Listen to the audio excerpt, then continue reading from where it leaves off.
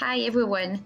I've been asked to do more videos about sheepdogs, so I'll try to do a small video mixing livestock and dog handling to keep everybody happy.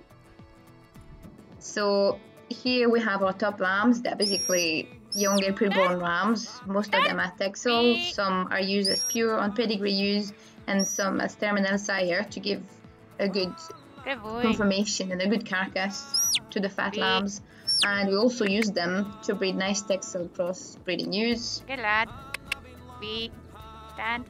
Come by. You can stand. see Be there I have here, Come by. one North Country Stand. Tribute tup with the frost. It seems to be Stand. limping a little bit. here. Come by. The North Stand. Countries are Be.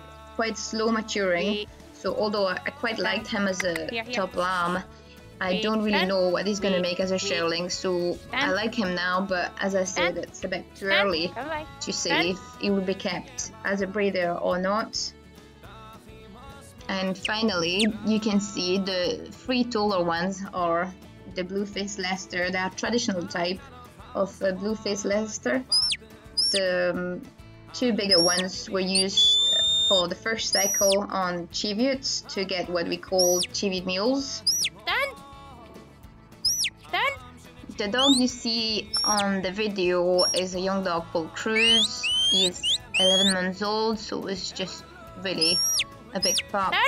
Um, Good boy. you can see Here, the pups are looking at him a bit and he hesitates a little bit here on the video. Here, here. Boy. He's uh, out of my dogs, Zorg and Meg. Quite like him. He's, he's to me really quite a talented young dog, but still plenty to learn and a lot of experience to gain. But it's very nice to work with. Stan, Stan, Come by. Always wants to please and he's very, Come very by, eager as well. Come by. Stand. So I've been practicing the shedding a little bit. Stand.